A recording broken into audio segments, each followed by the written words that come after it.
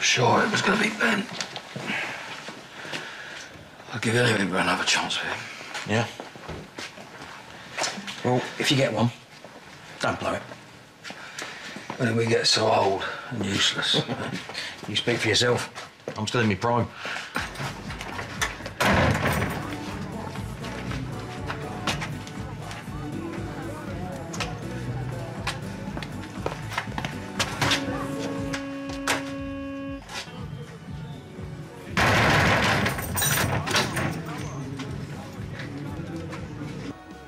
Some sort of accident. Something to do with Ben's phone and whoever the kid was who nicked it.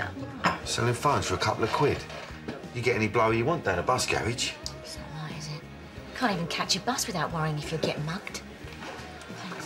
Do you hear that, baby? Okay. Yes, all right, I heard you. There's obviously been a nasty upset. I'm sorry about that. Shocking for all of you. But Les has had a heart attack. You don't drag us into your dramas, Shirley. Pam, Phil, and Ian had to identify the body. Yes, you've said all that. Some poor young man with Ben's phone. You've said all that. And please don't make this so hard. Ian said it was Paul. Don't you think I'd know that? Keep it down a bit. What a thing! Don't you don't you think I'd know something like that? You awful to say that to me. I'm sorry.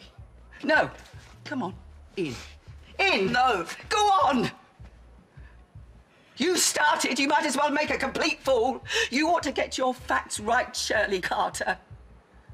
Before you start spreading your your dreadful, hurtful, terrible tittle tattle. What's been said, Pam? Paul is in there, isn't he, Les? I'm, I'm just a messenger. He's still dead to the world. Yes. And that's how vicious rumours start. Paul is safe and sound, and at home, and fast asleep in his own bed. Look.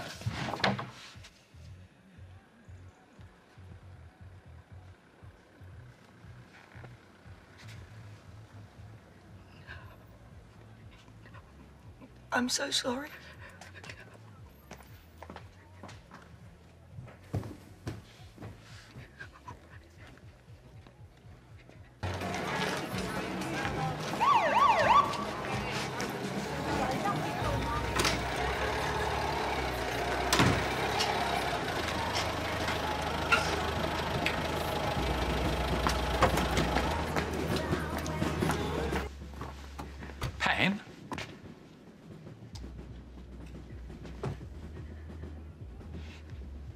We'll take it all with a pinch of salt, whatever gets said.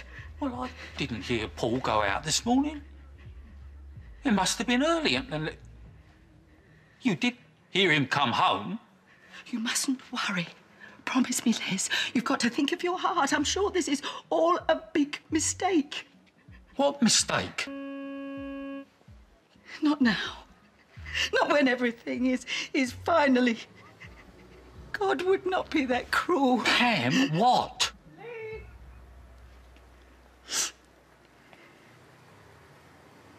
It's not him. It's not him, we'll tell them. It is not him.